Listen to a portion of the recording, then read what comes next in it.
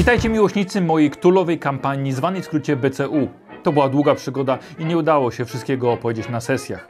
Oto prezentacja publikacji Niedopowiedziane historie BCU. Sesje Cthulhu trwały kilkaset godzin. Oglądaliście przeplatające się przygody aż pięciu drużyn, ale one dobiegły końca, choć pamięć po nich pozostanie. Na otarcie łez należy zapoznać się właśnie z tą książką. Format A4, wysokiej jakości papier Lux Cream, 400 stron, szyta, uszlachetniona, a zawartość to przede wszystkim ogromna radość dla fanów BCU. Każda strona to coś ciekawego.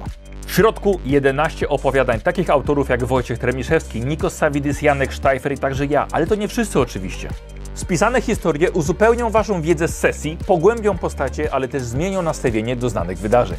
Dowiecie się dużo więcej, m.in. o Jerem Clocku i jego udziale w Wielkiej Wojnie, wężowym burmistrzu, który przeżył upadek po opuszczeniu samolotu, ale także Zofii Mazurek i jej poznawaniu świata mitów. Przeczytacie o ostatnim spotkaniu Sterlinga Boucha ze swoją siostrą Megan i o jej ostatnich chwilach, ale także o włamaniu do Hemingera, gdzie pod jego nieobecność jego pracownicy Wanda, John, Ferguson i Angus bronią posiadłości.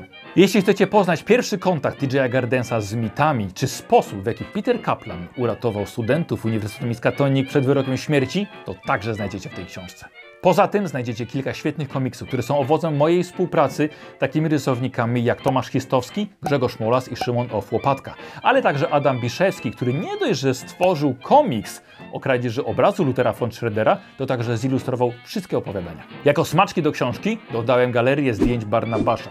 Wszystkich, nawet tych niepokazywanych na sesjach. Stworzył je Szymon Of Łopatka i przedstawiają przeróżne chwile z działalności hobo, ale także samotnych wypraw naszego wielorybnika. Ale to nie koniec smaczków. Możecie zagłębić się w pełną korespondencję, jaka nawiązała się pomiędzy badaczami ze wszystkich drużyn walczących z mitami. Poznajcie ich początki i jak zmieniały się wspólne relacje. Oczywiście nie mogło obejść się bez dodania galerii grafik. Na zawsze będziecie mogli mieć przy sobie obrazy Lutera von Schroedera, ale także kilka grafik wykorzystywanych na sesjach. Znacie mnie, niektóre tajemnice trzymam do samego końca. Na pewno przydadzą się Wam smartfony odczytujące kody QR. W opisie filmu znajdziecie link do mojego sklepu, gdzie można kupić książkę Niedopowiedziane historie z BCU. Polecam, ponieważ to będzie pamiątka na kolejne eony.